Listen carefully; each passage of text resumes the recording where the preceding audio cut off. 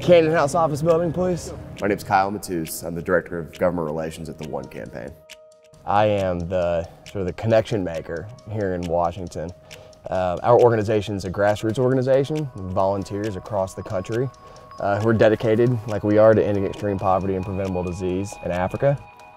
Hey, Representative Roby, good to see you Hey, again. Good to see you too. I'm glad you're here. Appreciate it. Hey Kyle, welcome back. Hey, thanks. My job is to make sure that members of Congress know what it is that we're working on and that their constituents deeply, deeply care about these issues.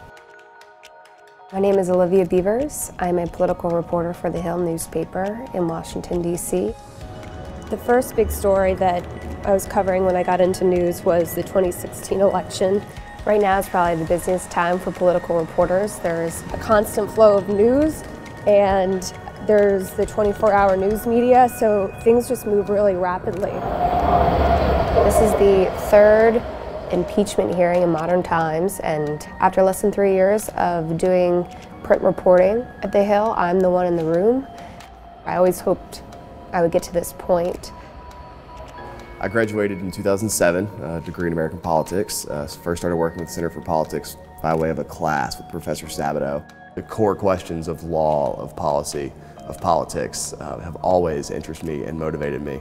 And the Center for Politics took that interest and provided a springboard for me to, to dive into deep questions and also find a job and an internship and found ways to take those philosophical questions and turn them into a, a practical way to make a living. What was sort of the big moment during the first open impeachment inquiry yesterday?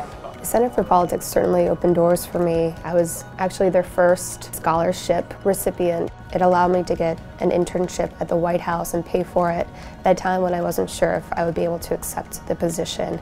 And it's helped me in my career ever since. It's hard sometimes if you don't fully understand what this world's like to get involved, but the Center for Politics made politics come alive. The University of Virginia changed the trajectory of my life. Made Washington, D.C. much more accessible and helped me understand that there was a place for me to come and serve my country in a way that I didn't know was possible.